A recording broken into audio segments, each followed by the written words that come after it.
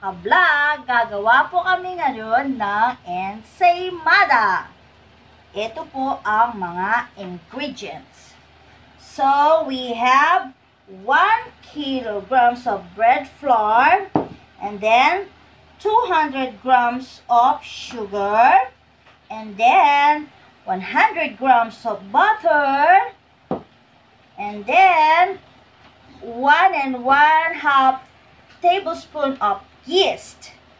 And this is a 1 tablespoon of salt. Then 1 tablespoon of bread improver. 2 eggs. And then 50 grams of powdered milk. And then water. 433 milliliter of water. And then we just only mix it.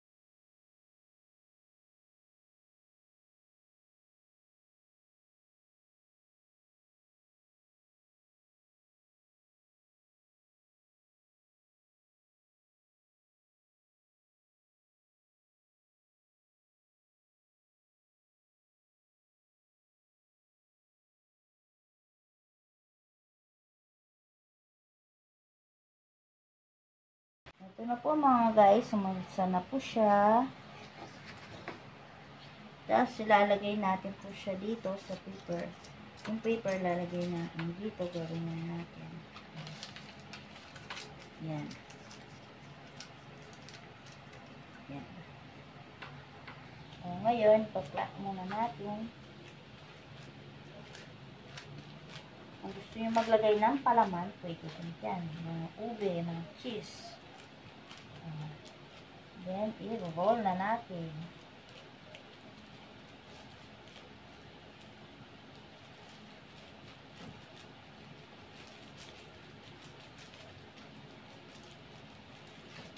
I-roll natin pahaba.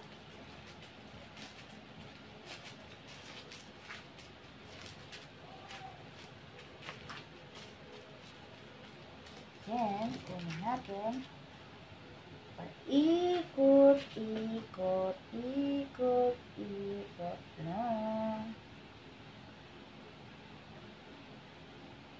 Yan. Then, kukuha tayo dito. Lalagay natin dito. Hmm, aasa niya ito. Asa na natin yung do. Lalagay na natin sa oven. 15 minutes. At saka yung init niya, 170 degrees Celsius. Hinay-hinay lang kasi mainit ko eh.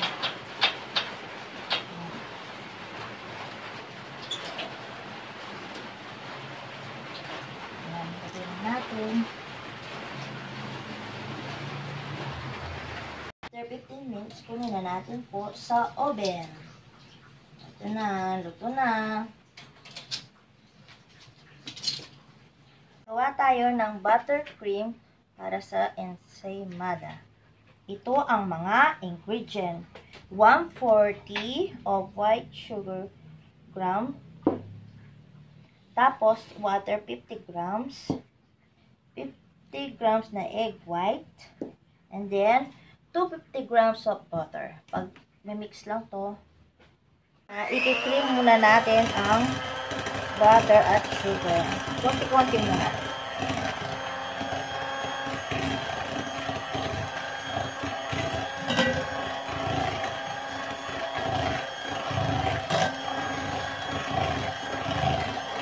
Ayan. O, lalagay na ang egg white.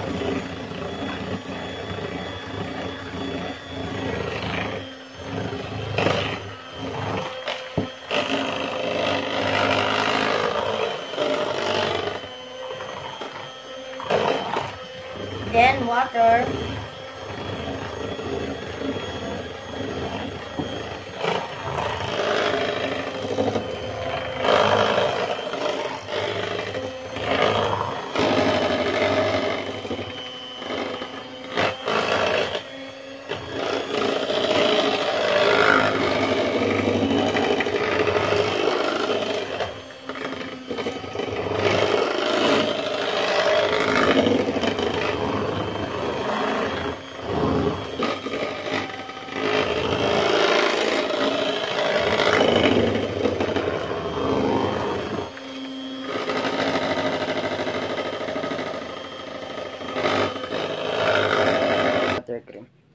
Pwede na po ang ating buttercream. So yummy! Lagyan na natin ng frosting. Ito, ganyan lang naman. Mix lang naman. Lagyan, lagyan. Ayan. Lagyan, lagyan. Ooh, yummy. Sarap niya.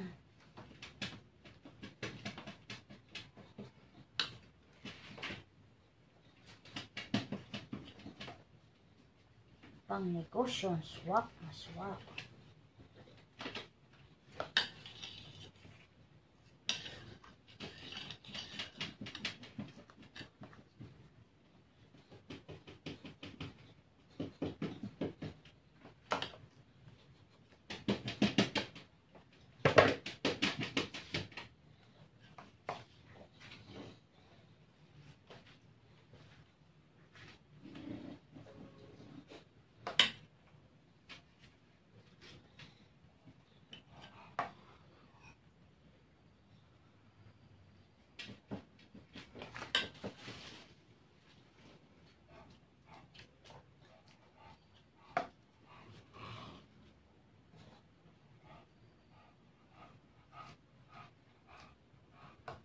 Magsuot tayo ng gloves para malinis.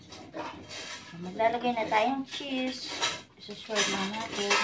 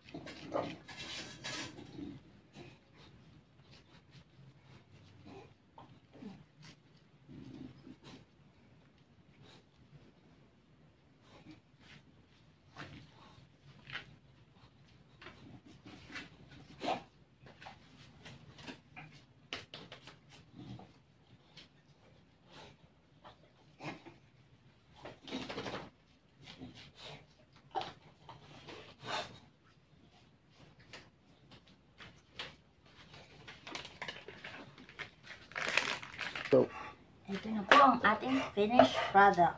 Ang Ensaymada!